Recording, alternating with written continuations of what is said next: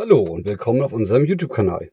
In diesem Video soll es um eine einfache Möglichkeit gehen, Alexa ins Wohnmobil zu bringen.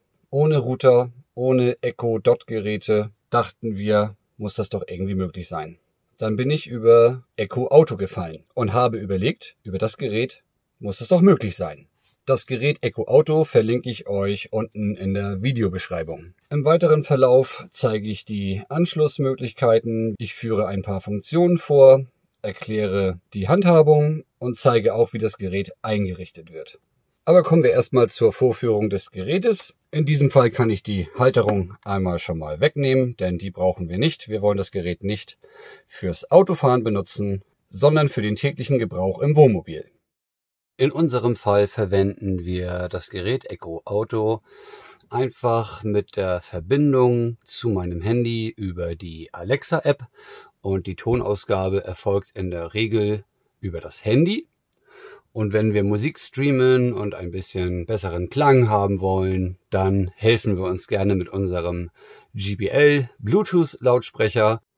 In unserem Fall geht es jetzt nicht darum, das Gerät Echo Auto mit dem Autoradio zu koppeln, was glaube ich der ursprüngliche Sinn dieses Gerätes ist, sondern wir möchten einfach nur Alexa im Wohnmobil haben und wollen kein Router installieren und kein großes Echo Dot Gerät im Wohnmobil haben und es einfach so verwenden. Wir verwenden die Alexa recht umfangreich, auch zu Hause Heizkörper steuern, Lichter steuern, Musik hören und ähm, aber auch die Einkaufsliste, den Kalender, Erinnerungen, die Stoppuhr und dies ermöglicht das kleine Gerät Echo Auto sehr gut. Dieses führe ich gleich im weiteren Verlauf genauer vor. Leider kann ich die Musikwiedergabe hier jetzt nicht starten in dem Video, da ich die Musik nicht abspielen darf und auch Hörbücher werde ich nicht vorführen, aber all das geht einwandfrei und ganz toll über die Steuerung mit dem Echo Auto.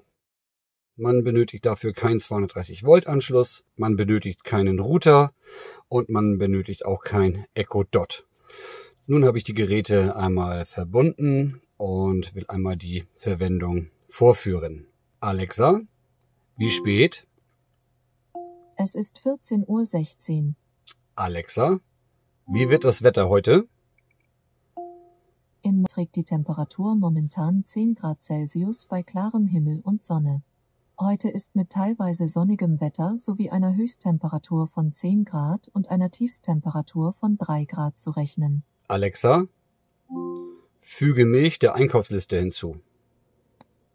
Ich habe Milch auf deine Einkaufsliste gesetzt. Alexa, stelle einen Timer 5 Minuten. 5 Minuten, ab jetzt. Alexa, stoppe den Timer. 5 Minuten Timer wurde abgebrochen. Alexa, wann ist dieses Jahr Pfingsten?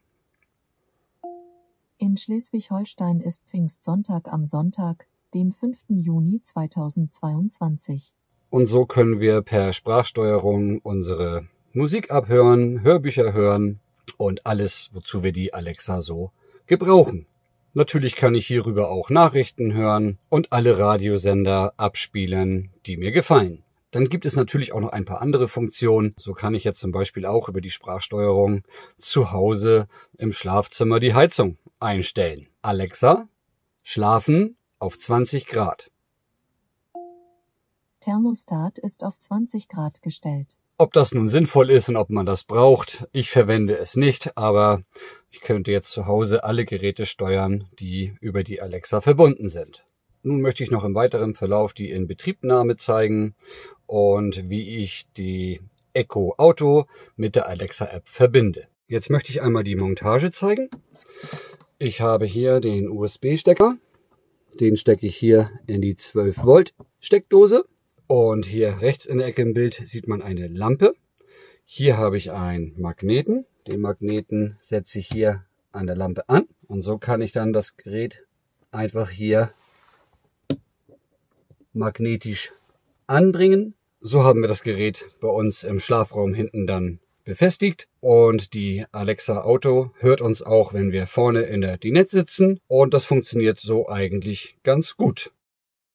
So, jetzt will ich einmal zeigen, wie man Echo Auto einrichtet. Das ist ganz einfach. Man öffnet die Alexa App und klickt dann hier unten in der Leiste auf Geräte. Dann schließe ich jetzt gleich die Alexa einmal im Wohnmobil an einen USB-Port an. Darin hörten wir schon ein Tonsignal. Jetzt ist das Echo Auto Gerät aktiv und an dem Gerät läuft das blaue Lichtband und das Gerät sucht jetzt also nach einer Verknüpfung. Nun drücke ich oben rechts in der Ecke das Plus-Symbol. Und hier habe ich mehrere Auswahlmöglichkeiten. Ich nehme den ersten Punkt, Gerät hinzufügen. Jetzt muss ich noch auswählen, um was für ein Gerät es sich handelt. Da scrollen wir runter und jetzt ist hier Autozubehör in der Mitte des Bildschirms zu sehen. Da klicke ich einmal drauf. Dann kommt eine Warnung, dass man das nicht während der Fahrt machen soll. Das trifft für mich jetzt in diesem Fall nicht zu. Dann klicke ich unten rechts in der Ecke auf den Button Weiter. Jetzt wird nach Geräten gesucht. Und jetzt erscheint Echo Auto 02 GL. Das Gerät wähle ich aus. Und jetzt muss ich nur noch ganz unten den Button Aktivieren klicken. Ich hörte ein kleines Tonsignal. Jetzt können wir hier unten auf den Button weiterklicken.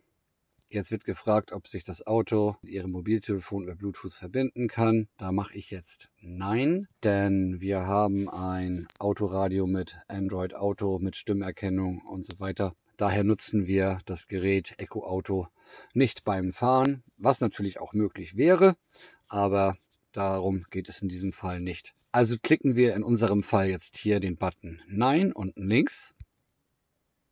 Man kann das Autoradio auch mit einem AUX-Kabel verbinden. Auch dies möchte ich in meinem Fall nicht. Und habe einfach unten in der Ecke weitergeklickt. Klicke wieder auf Weiter und nochmal wieder unten weiter. Und auch den Punkt kann ich ja überspringen. Unten wieder weiterklicken. Und auch in diesem Fall wieder unten einfach auf Weiterklicken. Hier geht es jetzt noch um Standorte, die man festlegen kann. Das mache ich jetzt auch nicht. Da klicke ich einfach auf Später. Hier sind jetzt die Personen aufgeführt, die gelistet sind. Da wir Alexa auch zu Hause benutzen, ist das alles schon eingestellt und hinterlegt. Ähm, da klicke ich jetzt einfach ganz unten auf Das sind alle. Wer jetzt zu Hause keine Alexa hat und nur dieses Gerät benutzt, kann hier dann natürlich seine Profile anlegen. Wir klicken in unserem Fall, das sind alle. So, fertig. Alexa ist bereit, Ihre Familie zu unterstützen. Ich klicke unten auf Fertig.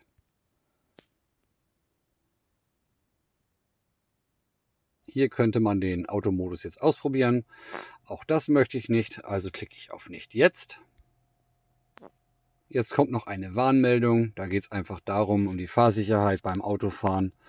Brauchen wir alles nicht. Wir wollen es nicht beim Fahren benutzen. Jetzt klicken wir hier unten einfach noch auf Ich bin Passagier und die Einrichtung ist abgeschlossen. Dann gucken wir einmal in die Geräteliste. Ich habe unten den Button Geräte ausgewählt, klicke oben links in der Ecke auf Echo und Alexa. Und jetzt hier in der Mitte des Bildschirms ist das Gerät Echo Auto 02GL. Jetzt kann ich hier das Gerät noch anklicken und hier sind dann die Daten. Ich kann die Verbindung trennen. Das brauche ich alles nicht. Und damit ist die Einrichtung abgeschlossen. Und nun, da das Gerät einmal gekoppelt ist, brauche ich es bei der nächsten Verwendung einfach nur an den Strom anzuschließen. Das Gerät verbindet sich automatisch mit der App. Ich muss es nicht erneut einrichten. Das kann man sich alles dann ersparen. Ja, das war es dann auch schon. Und ich hoffe, es hat euch gefallen. Ich wünsche euch alles Gute und erstmal ciao, ciao.